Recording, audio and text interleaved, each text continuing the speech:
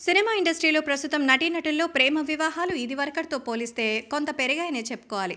ఇక మరొక విషయం ఏంటంటే అలా పెళ్ళి చేసుకొని కొందరు పెళ్ళిళ్ళు చేసుకో చ పిల్లల్ని కానీ చక్కగా వారితో కలిసి గడుపుతుంటే మరికొందరు మాత్రం తమ కెరీర్ కోసం ఇప్పుడే పిల్లలు వద్దే అనుకుంటున్నారు.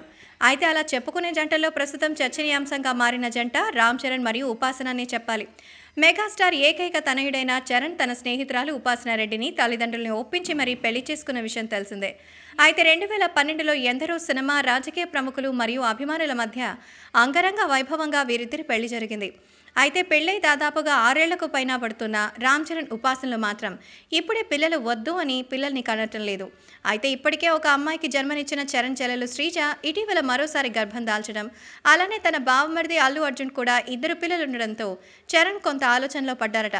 అంతేకాక ప్రస్తుతం తనతో కలిసి ట్రిపుల్ ఆర్ మూవీలో నటిస్తున్న తారక్ పిల్లలు ఇద్దరిని ఆయన భార్య ప్రణతి తరచూ సెట్స్కి తీసుకురావడం చూస్తున్న చరణ్కి కొంత మనసులో బాధగా అనిపిస్తోందని అంటున్నారు. నిజానికి మొదటి నుంచి చరణ్ మరియు ఉపాసనలకు పిల్లలంటే చాలా ఇష్టమని అయినప్పటికీ ప్రస్తుతం ఇద్దరు కూడా కెరీర్ పరంగా బాగా ప్లాన్ చేసుకుంటున్న ఈ సమయంలో పిల్లలు పుడితే అది కొంత వారి కెరీర్కు అడ్డంకిగా మారుతుందని ఇద్దరు ఇప్పట్లో పిల్లలు వద్దనుకున్నారట. అంటే పిల్లల్ని కంటే వారి బాగోగులు చూసుకోవడానికి ఇద్దరికి సమయం పడుతుందని. ఒకవేళ తమ కెరీర్ పరంగా ఏవైనా వేరే దేశాలకు వెళ్ళాల్సి వస్తే పిల్లల్ని వదిలేసి వెళ్ళడం ఇబ్బందిగా మారుతుందని భావించి వారిద్దరూ కొన్నాళ్ళు పిల్లలు వద్దని ఈ నిర్ణయం తీసుకున్నట్టు తెలుస్తోంది.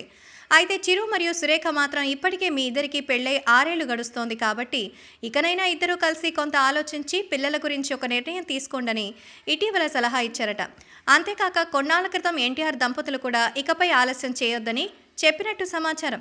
అయితే రాబోయే రోజుల్లో తప్పకుండా చరణ్ దంపతులిద్దరూ తప్పకుండా ఈ విషయమై మంచి నిర్ణయం తీసుకుని మెగా వారసుని తప్పకుండా వారి కుటుంబానికి అందించాలని మెగా ఫ్యాన్స్ కోరుకుంటూ సోషల్ మీడియా వేదికల్లో కామెంట్ చేస్తున్నారు.